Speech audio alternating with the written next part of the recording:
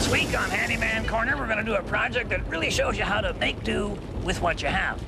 Now, what I have is a leaky roof. Okay, a lot of people would go up and try and fix that leak, but that's because they think the roof will hold their weight. I know better. So instead, I'm going to make homemade beer, then I won't care if it's raining. Now, the water, of course, is the big ingredient when you're making beer, especially if you're making American beer. So, with the water coming down through the roof, really adds to the flavor of the beer, and it helps me give it a name. She's coming off a big cedar log there, so I'm gonna call my beer Big Cedar Lager. The woodsman's beer that makes you cut and split. Thirsty yet? All right, the next thing you need is something they call bittering hops. I actually have no idea what that is, so I asked the guys at the lodge, and after about four or five hours, it became clear they really had no idea either, which is amazing when you consider their familiarity with the final product. So I decided to break her down. You got bittering and you got hops. I figure bittering has got to be for your lemons, and hops has got to be rabbit food.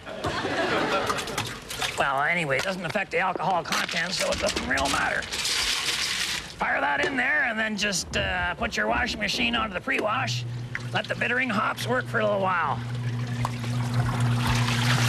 Wonder where that shirt went. All right, uh, once that cycle's done, then what you want to add is malt extract. Now, you're probably guessing this here is a chocolate malt. And earlier this year, it probably was. All right, put that in there. And then you start her up on whatever cycle suits the kind of beer you're making. For English beer, set her on permanent press. For the light beer, maybe go delicate. And for a beer that doesn't make you go to the bathroom, just set her on rinse and hold. All right, now what I'm supposed to do is add something called finishing hops. Again, I have no idea what that is, so I figure they must just mean the rest of the rabbit food. don't forget, I'm making do with what I have. Plus, I don't care. All right, when that cycle's done, I'm gonna filter the beer, and then I gotta store it somewhere cold for two weeks. This is now my beer fridge.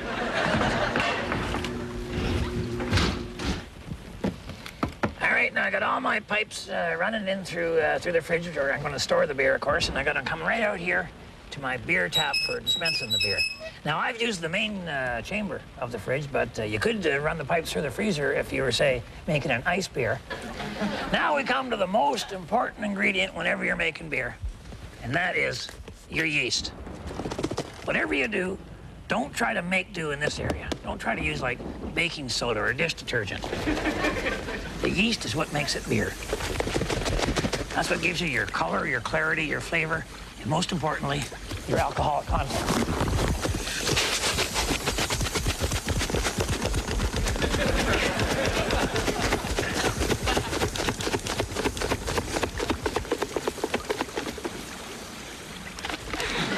There we go. Now you want to do is immediately pump the beer into your storage vat, which in this case is the fridge. Now I need something to make do as a filter. Oh. There, this uh, piece of the shirt will work just absolutely fine. And uh, now what we want to do is uh, just take your uh, the drain uh, pump deal here from the washing machine and just uh, pump her right through. You know, uh, this is actually called wort in here, and this is called transferring the wort. I was going to call it removing the wort, but I thought it would make the beer hard to drink. She's leaking a little.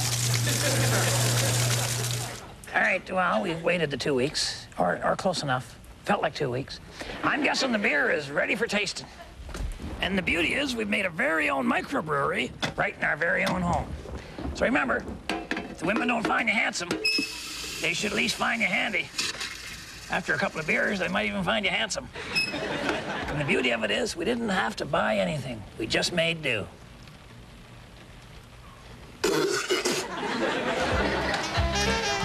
or maybe we made doo-doo.